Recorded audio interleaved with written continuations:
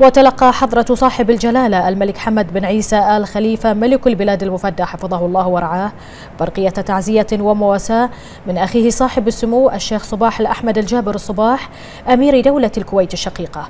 وذلك في وفاة صاحبة السمو الشيخة هالة بنت دعي آل خليفة. وأعرب سمو أمير دولة الكويت عن خالص تعزيه وصادق مواساته لجلالة الملك المفدى ولأسرة الفقيدة. مبتهلا سموه إلى المولى عز وجل أن يتغمدها بواسع رحمته ويسكنها فسيح جناته.